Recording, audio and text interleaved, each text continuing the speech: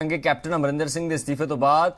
Captain Amarinder Singh ਜਿੱਥੇ ਆਪਣੀ party ਬਣਾਉਣ ਦਾ ਐਲਾਨ ਕਰ ਚੁੱਕੇ ਨੇ, ਉੱਥੇ ਹੀ। ਕਾਂਗਰਸ ਹੁਣ ਕੈਪਟਨ ਦੇ ਪਰਿਵਾਰ ਤੇ ਐਕਸ਼ਨ ਲੈ ਸਕਦੀ ਹੈ।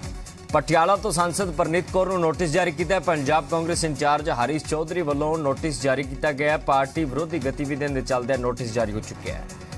7 ਦਿਨਾਂ ਦੇ ਅੰਦਰ ਜਵਾਬ ਦਾਖਲ ਕਰਨ ਦੇ ਨਿਰਦੇਸ਼ ਦਿੱਤੇ ਨੇ। ਹਾਲ ਹੀ ਵਿੱਚ ਸੰਸਦ ਪਰਨੀਤ ਕੌਰ ਨੇ ਐਲਾਨ ਕੀਤਾ ਸੀ ਕਿ ਉਹ ਆਪਣੇ ਪਰਿਵਾਰ ਦੇ ਨਾਲ ਖੜੇ ਨੇ ਸੋ ਹਰੀਸ਼ ਚੌਧਰੀ ਨੇ ਕਿਹਾ ਕਿ ਇਸ ਚੀਜ਼ ਨੂੰ ਸਪਸ਼ਟ ਕਰੋ ਕਿ ਤੁਸੀਂ ਕਾਂਗਰਸ ਨਾਲ ਚੱਲਣਾ ਚਾਹੁੰਦੇ ਹੋ ਜਾਂ ਫਿਰ ਨਹੀਂ ਪਰਨੀਤ ਕੌਰ ਦਾ ਬਿਆਨ ਵੀ ਤੁਹਾਨੂੰ ਸੁਣਾਵਾ ਗਿਆ ਸੀ ਦੇਖੋ ਇਹਦੇ ਉੱਤੇ ਮੈਂ ਕੋਈ ਟਿੱਪਣੀ ਨਹੀਂ ਕਰਨ ਚਾਹੁੰਦੀ ਹੱਲੇ ਸਾਰਾ ਕੁਝ ਸਪਸ਼ਟ ਹੋ ਜਾਏ ਸਭ ਦਾ ਹੱਕ ਹੈ ਖੜਨ ਹੋਣ ਖੜੇ ਹੋਣ ਦਾ ਸਭ ਦਾ ਇਹ ਲੋਕਤੰਤਰ ਹੱਕ ਹੈ।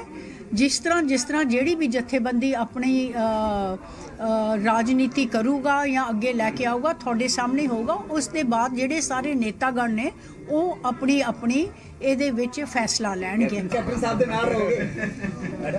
ਮੈਂ ਆਪਣੇ ਪਰਿਵਾਰ ਨਾਲ ਹਾਂ।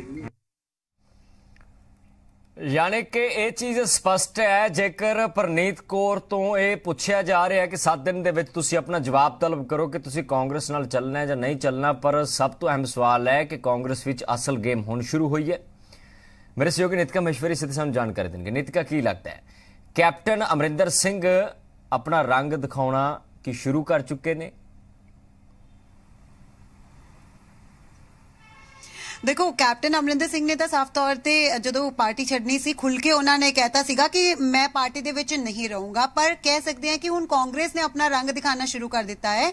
ਪੰਜਾਬ ਕਾਂਗਰਸ ਦੇ ਪ੍ਰਭਾਰੀ ਹਰੀਸ਼ ਚੌਧਰੀ ਵੱਲੋਂ ਇਹ ਨੋਟਿਸ, ਇਹ ਲੈਟਰ ਜਿਹੜਾ ਹੈ ਐਮਪੀ ਪਰਨੀਤ ਕੌਰ ਨੂੰ ਭੇਜਿਆ ਗਿਆ ਹੈ ਤੇ ਸਾਫ਼ ਤੌਰ ਤੇ ਕਿਹਾ ਗਿਆ ਹੈ ਕਿ ਤੁਸੀਂ 7 ਦਿਨ ਦੇ ਵਿੱਚ ਜਵਾਬ ਦਿਓ, ਨਹੀਂ ਤਾਂ ਅਸੀਂ ਕੋਈ ਨਾ ਕੋਈ ਡਿਸਪਲਿਨਰੀ ਐਕਸ਼ਨ ਜਿਹੜਾ ਹੈ, ਤੁਹਾਡੇ ਖਿਲਾਫ ਲੈ ਸਕਦੇ ਹਾਂ। ਇਹ ਇਸ ਲਈ ਕਿਹਾ ਗਿਆ ਹੈ ਕਿ ਉਹਨਾਂ ਵੱਲੋਂ ਇਸ ਲੈਟਰ ਦੇ ਵਿੱਚ ਕਿਹਾ ਗਿਆ ਹੈ ਕਿ ਤੁਸੀਂ ਲਗਾਤਾਰ ਐਂਟੀ ਪਾਰਟੀ ਸਟੇਟਮੈਂਟਸ ਦੇ ਰਹੇ ਹੋ। ਮੀਡੀਆ ਦੇ ਵਿੱਚ ਉਹ ਸਟੇਟਮੈਂਟਸ ਆ ਰਹੀਆਂ ਨੇ। ਨਾਲ ਹੀ ਇਹ ਕਿਹਾ ਗਿਆ ਹੈ ਕਿ ਜਦੋਂ ਦਾ ਸਾਬਕਾ ਮੁੱਖ ਮੰਤਰੀ ਕੈਪਟਨ ਅਮਰਿੰਦਰ ਸਿੰਘ ਵੱਲੋਂ ਕਾਂਗਰਸ ਛੱਡੀ ਗਈ ਹੈ ਤੇ ਆਪਣੀ ਨਵੀਂ ਪਾਰਟੀ ਬਣਾਉਣ ਦਾ ਐਲਾਨ ਕੀਤਾ ਗਿਆ ਹੈ।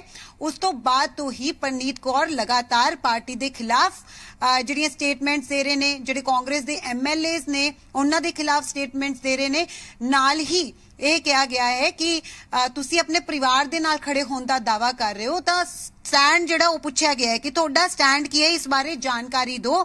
ਉਹ ਵੀ 7 ਦਿਨਾਂ ਦੇ ਅੰਦਰ ਅੰਦਰ ਜਿਹੜਾ ਪੁੱਛਿਆ ਗਿਆ ਹੈ ਕਿ ਜਾਣਕਾਰੀ ਦਿਓ। ਨਹੀਂ ਤਾਂ ਤੁਹਾਡੇ ਖਿਲਾਫ ਜਿਹੜਾ ਹੈ ਐਕਸ਼ਨ ਲਿਆ ਜਾਏਗਾ। ਯਾਨੀ ਕਿ ਪੂਰੀ ਤਰ੍ਹਾਂ ਕਾਂਗਰਸ ਜਿਹੜੀ ਹੈ, ਉਹ ਤਿਆਰ ਹੈ ਪਰਨੀਤ ਕੌਰ ਤੇ ਐਕਸ਼ਨ ਲੈਣ ਲਈ। ਪਰ ਅਨਿਤਿਕਾ ਦੇਖੋ, ਜਿਸ ਹਿਸਾਬ ਨਾਲ ਨੋਟਿਸ ਜਨਤਕ ਹੋਇਆ ਹੈ ਇਕੱਲੇ ਪ੍ਰਨੀਤ ਕੌਰ ਕੈਪਟਨ ਅਮਰਿੰਦਰ ਸਿੰਘ ਦੇ ਹੱਕ ਵਿੱਚ ਕੀ ਖੜਨਗੇ ਜਾਂ ਬਾਕੀ ਕੇਡਰ ਵੀ ਕੈਪਟਨ ਦੇ ਹੱਕ 'ਚ ਭੁਗਤੇਗਾ ਦੇਖੋ, ਮੈਂ ਬਿਆਨ ਦੇਖ ਰਿਹਾ ਸੀ ਕੈਪਟਨ ਅਮਰਿੰਦਰ ਸਿੰਘ ਦਾ। ਕੈਪਟਨ ਆਪਣੇ ਸਮਰਥਕਾਂ ਨੂੰ ਕਹਿ ਰਹੇ ਨੇ ਕਿ ਹਾਲੇ ਟਿਕ ਕੇ ਕਾਂਗਰਸ 'ਚ ਬੈਠੇ ਰਹੋ। ਜਦੋਂ ਚੋਣ ਜ਼ਾਬਤਾ ਲੱਗੇਗਾ, ਬਾਅਦ ਵਿੱਚ ਦੇਖਾਂਗੇ ਕਿਵੇਂ ਰਣਨੀਤੀ ਕਰਨੀ ਹੈ। ਬਿਲਕੁਲ, ਕਿਉਂਕਿ ਦੇਖੋ, ਜਦੋਂ ਤੋਂ ਕੈਪਟਨ ਅਮਰਿੰਦਰ ਸਿੰਘ ਨੇ ਕਾਂਗਰਸ ਛੱਡਣ ਦੀ ਗੱਲ ਕਹੀ ਹੈ ਆਪਣੀ ਨਵੀਂ ਪਾਰਟੀ ਬਣਾਉਣ ਦੀ ਗੱਲ ਕਹੀ ਹੈ, ਉਸ ਤੋਂ ਬਾਅਦ ਕਾਂਗਰਸ ਵਰਸਸ ਕੈਪਟਨ ਹੋ ਗਿਆ। ਉਸ ਤੋਂ ਬਾਅਦ ਲਗਾਤਾਰ ਤੁਸੀਂ ਦੇਖੋਗੇ ਕਿ ਜਿਹੜੇ ਕਾਂਗਰਸ ਦੇ ਸੀਨੀਅਰ ਲੀਡਰ ਸੀਗੇ, ਉਹ ਵੀ ਕੈਪਟਨ ਦੇ ਖਿਲਾਫ ਬੋਲਦੇ ਹੋਏ ਨਜ਼ਰ ਆਏ। ਕੈਪਟਨ ਅਮਰਿੰਦਰ ਸਿੰਘ ਦੇ ਕਰੀਬੀ ਵੀ ਕੈਪਟਨ ਅਮਰਿੰਦਰ ਸਿੰਘ ਦੇ ਖਿਲਾਫ ਬੋਲਦੇ ਹੋਏ ਨਜ਼ਰ ਆਏ। ਪਰ ਪਰਨੀਤ ਕੌਰ ਦੀ ਜੇ ਗੱਲ ਕੀਤੀ ਜਾਵੇ ਐਮਪੀ ਨੇ, ਮਹਾਰਾਣੀ ਨੇ ਉਹਨਾਂ ਤੋਂ ਕਈ ਵਾਰ ਪੁੱਛਿਆ ਗਿਆ ਕਿ ਤੁਹਾਡਾ ਕੀ ਸਟੈਂਡ ਰਹੇਗਾ, ਤੇ ਉਹਨਾਂ ਵੱਲੋਂ ਹਮੇਸ਼ਾ ਹੀ ਕਿਹਾ ਗਿਆ। ਵਿੱਚ ਤੁਸੀਂ ਖਬਰਾਂ ਵੀ ਸੁਣੀਆਂ ਹੋਣਗੀਆਂ ਕਿ ਐਮਪੀ ਦੇ ਪਦ ਤੋਂ ਪਰਨੀਤ ਕੌਰ ਨੇ ਅਸਤੀਫਾ ਦੇ ਦਿੱਤਾ। ਪਰ ਉਸ ਨੂੰ ਲੈ ਕੇ ਵੀ ਉਹਨਾਂ ਵੱਲੋਂ ਕਲੈਰੀਫਿਕੇਸ਼ਨ ਦਿੱਤੀ ਗਈ ਕਿ ਮੈਂ ਹਲੇ ਕੋਈ ਅਸਤੀਫਾ ਨਹੀਂ ਦਿੱਤਾ। ਹਾਲੇ ਅਸੀਂ ਦੇਖ ਰਹੇ ਹਾਂ ਕਿ ਕੀ ਕਰਨਾ ਹੈ ਤੇ ਹਰ ਕਿਸੇ ਨੂੰ ਆਪਣਾ ਫੈਸਲਾ ਲੈਣ ਦਾ ਹੱਕ ਹੈ। ਇਹ ਬਾਰ-ਬਾਰ ਉਹਨਾਂ ਵੱਲੋਂ ਕਿਹਾ ਜਾਂਦਾ ਹੈ, ਡੈਮੋਕ੍ਰੇਸੀ ਦੇ ਵਿੱਚ ਹਰ ਕਿਸੇ ਨੂੰ ਹੱਕ ਹੈ ਕਿ ਉਹ ਆਪਣਾ ਫੈਸਲਾ ਲੈ ਸਕਦੇ ਨੇ। ਤਾਂ ਫਿਲਹਾਲ ਦੇਖਣਾ ਹੋਵੇਗਾ, ਭਾਵੇਂ ਪਰਨੀਤ ਕੌਰ ਖੁਦ ਛੱਡ ਦਿੰਦੇ, ਭਾਵੇਂ ਪਾਰਟੀ ਕੋਈ ਨਾ ਕੋਈ ਐਕਸ਼ਨ ਲੈ ਕੇ ਉਹਨਾਂ ਤੋਂ ਇਹ ਪਦ ਛੁਡਵਾ ਸਕਦੀ ਹੈ। ਹੁਣ ਦੇਖਣਾ ਹੋਵੇਗਾ ਕਿ ਕੌਣ ਇਨੀਸ਼ੀਏਟਿਵ ਜਿਹੜਾ ਹੈ, ਉਹ ਪਹਿਲਾਂ ਲੈਂਦਾ ਹੈ, ਕਿਉਂਕਿ ਅਸੀਂ ਦੇਖਿਆ ਕਿ ਕੈਪਟਨ ਅਮਰਿੰਦਰ ਸਿੰਘ ਵੀ ਭਾਵੇਂ ਪਾਰਟੀ ਦੇ ਖਿਲਾਫ ਪਹਿਲਾਂ ਤੋਂ ਹੀ ਬੋਲਣ ਲੱਗੇ ਸੀਗੇ, ਪਰ ਪਾਰਟੀ ਨੇ ਉਹਨਾਂ ਦੇ ਖਿਲਾਫ ਕੋਈ ਐਕਸ਼ਨ ਨਹੀਂ ਲਿਆ, ਬਲਕਿ ਕੈਪਟਨ ਅਮਰਿੰਦਰ ਸਿੰਘ ਨੇ ਖੁਦ ਪਾਰਟੀ ਜਿਹੜੀ ਹੈ, ਛੱਡੀ ਸੀਗੀ।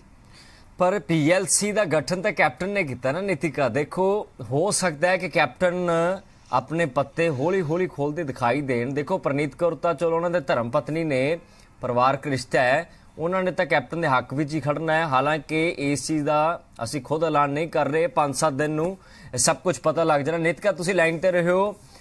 ਬ੍ਰਿੰਦਰ ਢਿੱਲੋਂ ਸਾਡੇ ਨਾਲ ਲਾਈਨ ਤੇ ਜੁੜ ਚੁੱਕੇ ਨੇ। ਢਿੱਲੋਂ, ਸਭ ਤੁਹਾਡਾ ਸਵਾਗਤ ਹੈ। ਕੀ ਲੱਗਦਾ ਹੈ? ਪ੍ਰਨੀਤ ਕੌਰ ਨੂੰ ਇੱਕ ਨੋਟਿਸ ਜਨਤਕ ਕੀਤਾ ਗਿਆ, ਜਾਰੀ ਕੀਤਾ ਗਿਆ ਹੈ। 7 ਦਿਨ ਦੇ ਵਿੱਚ ਜਵਾਬ ਮੰਗਿਆ ਗਿਆ ਹੈ ਕਿ ਤੁਸੀਂ ਪਾਰਟੀ ਵਿਰੋਧੀ ਗਤੀਵਿਧੀਆਂ ਕਰ ਰਹੇ ਹੋ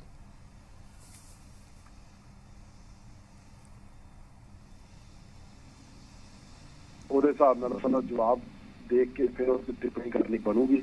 ਲੇਕਿਨ ਨਾਲ ਨਾਲ ਇਹ ਵੀ ਕਹਿਣਾ ਚਾਹਾਂਗੇ ਉਹਨਾਂ ਦਾ ਬੜਾ ਵੱਡਾ ਕਰਤਾ ਬੜੀ ਉਹਨਾਂ ਨੇ ਇੱਕ ਸਮਾਂ ਦਿੱਤਾ ਵਾ। ਥੋੜਾ ਜਿਹਾ ਅਗਰ ਸੋਚਣ ਵਿਚਾਰਨ ਦੀ ਪਾਰਟੀ ਤੋਂ ਬਿਨਾਂ ਕੁਝ ਨਹੀਂ ਹੁੰਦਾ। ਜੀ। ਠੀਕ ਹੈ ਖਵਾਰ ਵੀ ਉਹਨਾਂ ਦਾ ਜ਼ਰੂਰੀ ਹੈ ਲੇਕਿਨ ਇਹ ਚੀਜ਼ਾਂ ਨੂੰ ਆਉਣ ਵਾਲਾ ਸਮਾਂ ਹੀ ਇਹਦੀ ਖੈਰਤੀ ਕਰ ਸਕੂਗਾ ਵੀ ਉਹਨਾਂ ਨੇ ਅਗਰ ਪਾਰਟੀ ਐਕਟੀਵਿਟੀ ਕੀਤੀ ਜਾਂ ਪਾਰਟੀ ਛੱਡੀ ਉਹਦਾ ਉਹਨਾਂ ਨੂੰ ਫਾਇਦਾ ਹੋਊਗਾ ਜਾਂ ਨੁਕਸਾਨ ਹੋਊਗਾ।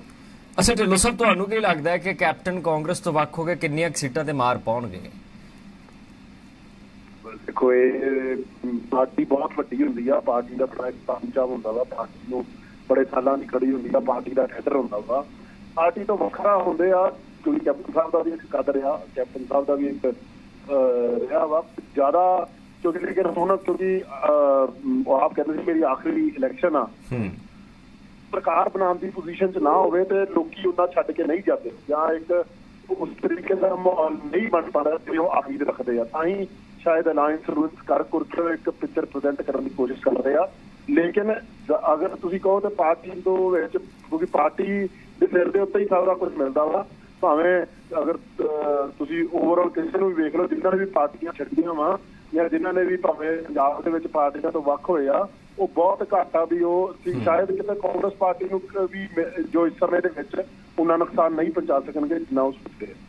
ਤੇ ਠੀਕ ਹੈ ਢਿੱਲੋਂ ਸਾਹਿਬ ਬਹੁਤ ਬਹੁਤ ਸ਼ੁਕਰੀਆ। ਸੁਬਰਿੰਦਰ ਢਿੱਲੋਂ ਦਾ ਮੰਨਣਾ ਹੈ ਕਿ ਪਾਰਟੀ ਵੱਡੀ ਹੁੰਦੀ ਹੈ। ਪਾਰਟੀ ਦੇ ਨਾਲ ਹੀ ਸਭ ਕੁਝ ਪੋਸੀਬਲ ਹੈ। ਸੋ ਪਰਨੀਤ ਕੌਰ ਨੂੰ ਨੋਟਿਸ ਜਾਰੀ ਹੋਇਆ। ਬਹੁਤ ਸ਼ੁਕਰੀਆ ਨਿਤਿਕਾ। ਤੁਹਾਡਾ ਵੀ ਤੁਸੀਂ ਸਾਡੇ ਨਾਲ ਜੁੜੇ